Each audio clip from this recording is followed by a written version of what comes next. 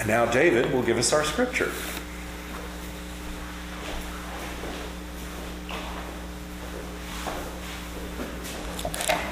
Today's scripture comes from the book of Matthew, the Gospel according to Matthew, chapter 6 and 7. Be careful concerning your alms, not to do them in the presence of men, merely that they may see them. Otherwise, you have no reward with your Father in heaven. Therefore, when you give alms, do not blow a trumpet before you, just as the hypocrites do in the synagogues and in the marketplaces, so that they may be glorified by men. Truly I say to you that they have already received their reward. But when you give alms, let not your left hand know what your right hand is doing, so that your alms may be done secretly, and your Father, who sees in secret, shall himself reward you openly. And when you pray, do not be like the hypocrites who like to pray standing in the synagogues and at the street corners, so they may be seen by men. Truly I say to you, they have already received their reward. But as for you, when you pray, enter into your inner chamber and lock your door and pray to your Father who is in secret, and your Father who sees in secret shall himself reward you openly. And when you pray, do not repeat your words like the pagans, for they think that because of much talking they will be heard. Do not be like them, for your Father knows what you need before you ask him. Judge not that you may not be judged. For with the judgment that you judge, you will be judged, and with the same measure with which you measure, it will be measured to you. Why do you see the splinter which is in your brother's eye, and do not feel the beam which is in your own eye? Or how can you say to your brother, Let me take out the splinter from your eye, and behold, there is a beam in your own eye? O hypocrites, first take out the beam from your own eye, and then you will see clearly to get out the splinter from your brother's eye. Do not give holy things to the dogs, and do not throw your pearls before swine, for they may tread them with their feet and then turn and rend you. Ask, and it shall be given to you. Seek, and you shall find. Knock, and it shall be opened to you.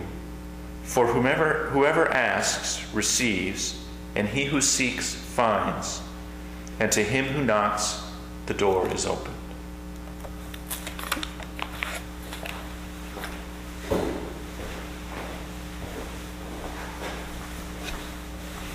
Thank you, David. Today's sermon lesson is on learning to love silence. The subtitle is May We Please Have a Moment of Silence. In today's scripture, we heard some familiar verses from Matthew about managing our personal relationship with God, doing service for others, and about not judging others unless you've walked in their shoes. I began writing today's sermon when I was on jury duty recently.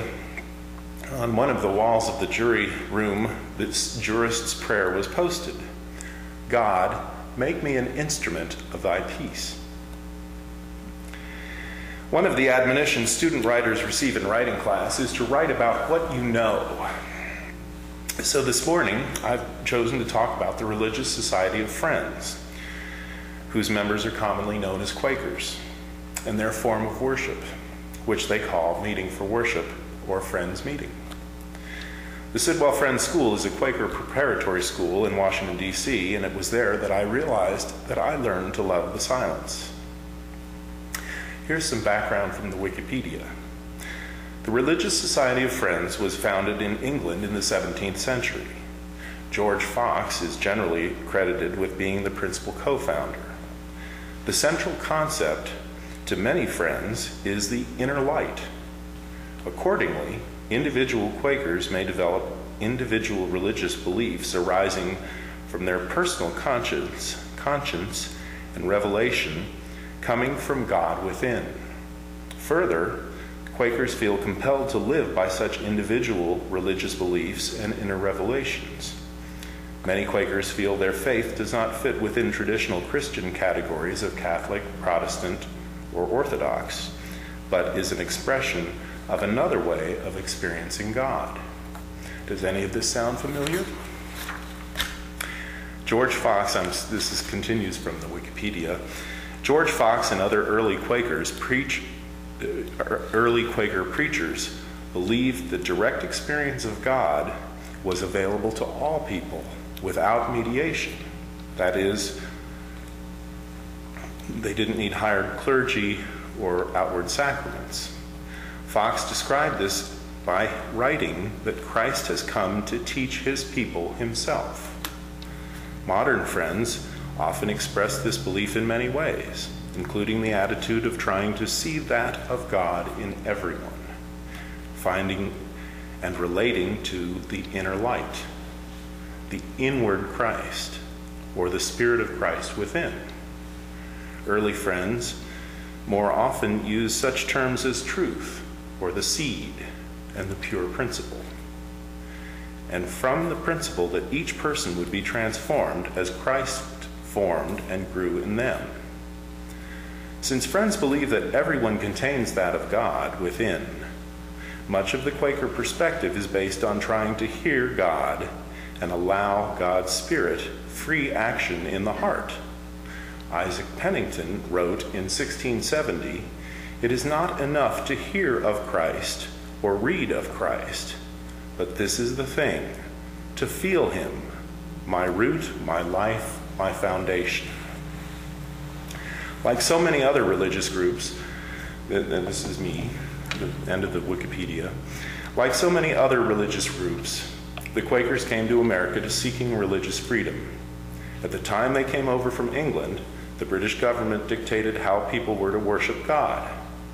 The Quakers had different ideas about what was the appropriate what was appropriate and bore the hardship of traveling to America to seek that freedom. Quakers believed in resolving disputes peacefully without weapons. They refused to go to war to kill. The reason for not killing was to honor the commandment, Thou shalt not kill. And they took that commandment literally. Rather than using weapons, the Quakers were known for practicing civil disobedience. There are many famous examples of the effectiveness of civil disobedience.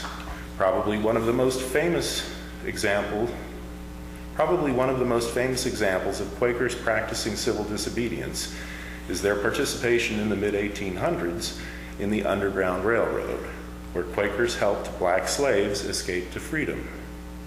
They contravened the laws of the state because they felt compelled to follow the higher law of God, to treat all persons equally and fairly.